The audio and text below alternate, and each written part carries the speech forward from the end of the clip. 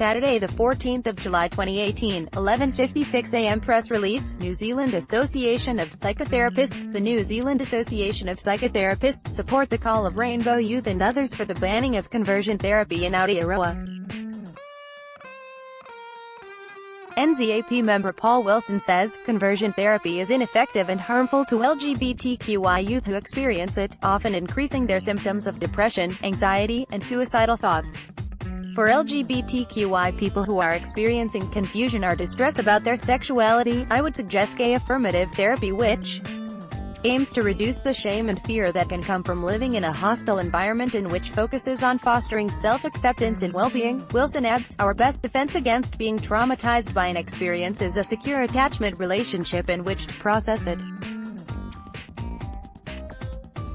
That is why I believe conversion therapy is so deeply damaging to the youth who go through it since they are already estranged from their parents due to their non-acceptance of their orientation, said Wilson.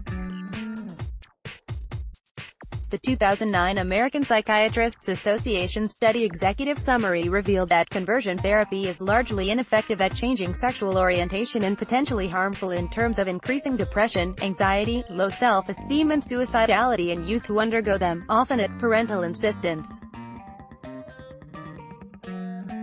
Https colon slash slash www.apa.org slash pi slash lgbt slash resources slash therapeutic dash response dot pdf It is already against the Code of Ethics of New Zealand psychotherapists to offer or conduct such therapy, said NZAP spokesperson Lynn Holdem. Since it is practiced mainly by fundamentalist Christian groups, rather than qualified therapists, perhaps it would be more truthful to refer to it as conversion pressure or conversion indoctrination, said Holdem. Many patients who have undergone reparative therapy relate that they were inaccurately told that homosexuals are lonely, unhappy individuals who never achieve acceptance or satisfaction. The possibility that the person might achieve happiness and satisfying interpersonal relationships as a gay man or lesbian is not presented, nor are alternative approaches to dealing with the effects of societal stigmatization discussed. Holdem says. When a young person is confused about sexual feelings or experiencing distress from same-sex attraction in a social milieu that invalidates or stigmatizes LGBTQI it could be helpful for them to speak to a gay-affirming psychotherapist. said Holdem psychotherapy provides a conversation which can help the young person to understand and accept their conflicting desires and loyalties, identify their values and make safe and life-affirming choices for themselves. Psychotherapists also offer opportunities to reflect on self and develop an ability to view relationships from others' perspectives as well as our own. This can be helpful when a young person is thinking about their readiness to come out to family and friends, how to protect themselves while having those conversations and anticipate the risks or relief that might follow from them. Other helpful interventions for adolescents who are experiencing same-sex attraction is to offer literature that explores sexuality issues. The Guardian has good suggestions at https colon slash slash www.theguardian.com slash children's dash books dash site slash 2014 slash may slash 12 slash best dash LGBT dash books dash children dash teenagers dash yas.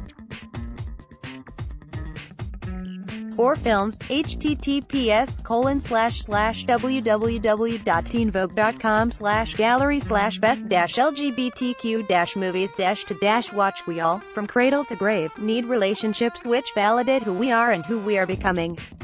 Having the courage, or encouragement, to find and join a peer support group for LGBTQI so experiences can be mirrored and affirmed by others might be a true lifesaver for someone coming to terms with being LGBTQI.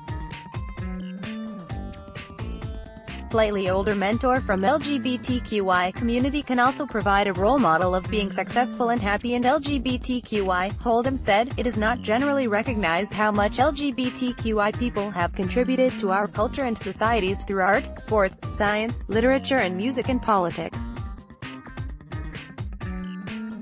https colon slash slash www.out.com slash popnography slash 2017 slash 12 slash 21 slash 20 dash lgbt dash people dash who dash changed dash world to see ahead a path to success and positive contribution to the world in which we live is a motivating factor for resilience for all young people, but especially important for those that fly the rainbow flag.